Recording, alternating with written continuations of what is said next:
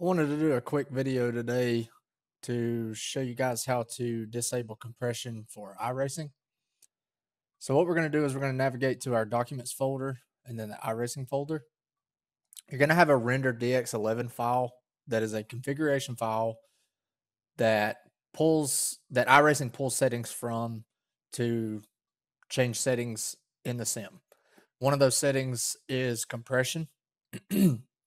and what compression does is it reduces the paint template that's being used from a 2048 by 2048 template down to a 1024 by 1024 template.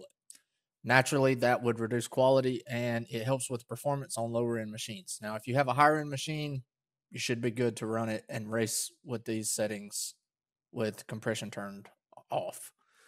So let's go ahead and get started. So we're going to find our render DX11 file. Now you may have multiple of these.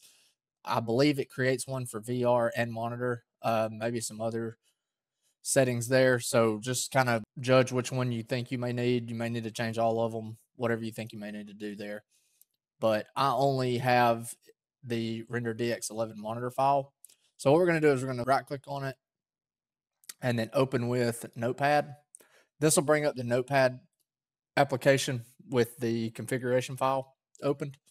Now, what we're going to do here is Control F, which is the shortcut key for search, and we're going to type in compress and hit enter.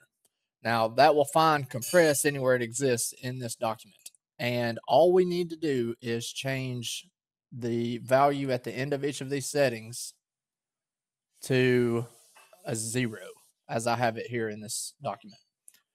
One is compressed, which is the default value. Zero is uncompressed.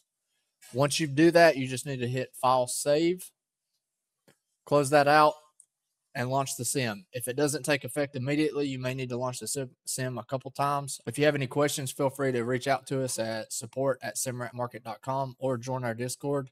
You can find our Discord link at the very top of the Sim Wrap Market webpage.